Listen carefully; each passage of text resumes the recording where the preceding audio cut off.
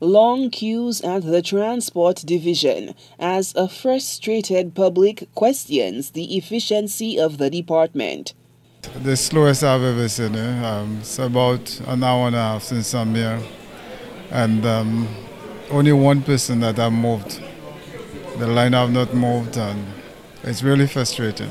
Back in January, the Transport Department closed its union office as staff underwent training to facilitate the migration of data to the new digital system called the Vehicle e-Services Platform, where individuals can register vehicles online.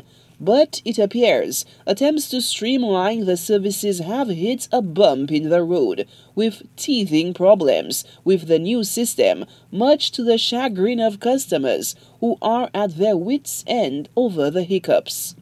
There are people and persons who don't know how to use those apps, and there is no assistant for them. And this gentleman next to me, since Tuesday, is coming up and down because of the long line and the wait, he had to leave. He's there again today, frustrating. They took electricity.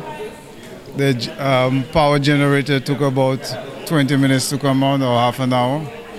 And then the process is it's crazy. It's, it's really frustrating. I made many attempts to leave, but then come back tomorrow. It's the same process. The process is a bit tedious. I was on the line, but I decided to try doing it online.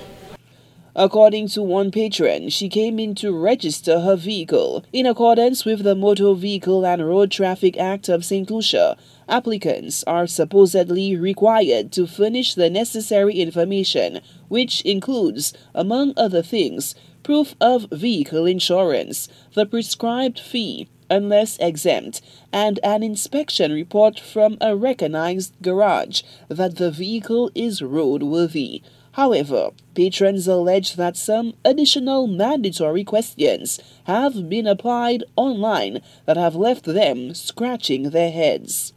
All they asked, all the all it asked was, is the vehicle attached to a financial institution? You say yes or no. If yes, you just say which financial institution it is attached to. Was that an optional question or you had to fill that out? Um, there was a red asterisk, so I'm assuming it was mandatory.